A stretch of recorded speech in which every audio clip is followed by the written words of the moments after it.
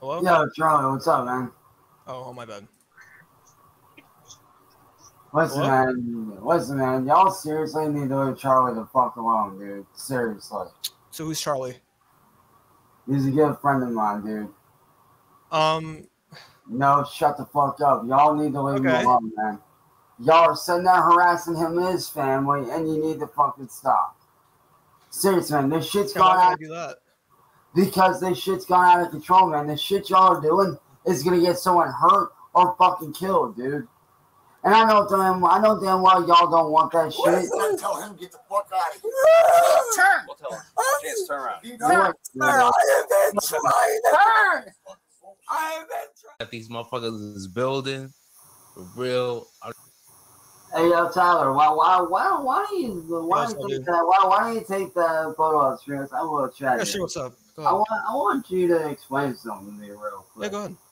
Why is, why is it that you guys feel the need to fuck with people like me? Like, why is that? Like, I'm, I'm not trying to start shit. I'm just trying to understand, like, what made y'all want to start fucking with me from the very beginning when you guys didn't even know me?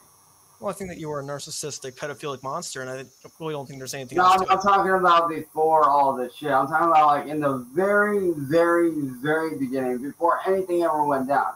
What made you guys want to start coming after me? Like, take out all the shit that went down. Like, go back to when Marty first, very first started screwing with me. What made you want to join him and start screwing with me? You know, I think it was the fact that you're definitely special needs, and I, I'm definitely biased against special needs people. Ah, oh, th- th- thanks for that, dude. I I appreciate that. But honestly, bro, a little bit of advice for you, dude. A little bit of advice for hold you. on, hold on, hold on. Little Little, advice for you. little, little bit of advice for you, bro. Attacking protesters on your sidewalk isn't them being Yeah, well, well, guess what? The dude had it coming. What can I say?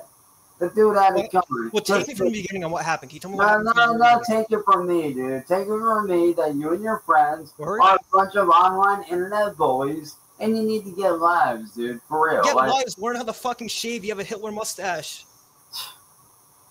Yeah, but at least I, hey, at least I don't go around on the internet bullying people all day. Time like to dude. No. No, it's not just you. It's you and all your little friends. It's you, Marty, and all your friends. Uh, let's be honest here, Tyler. You've had it out for me since day fucking one.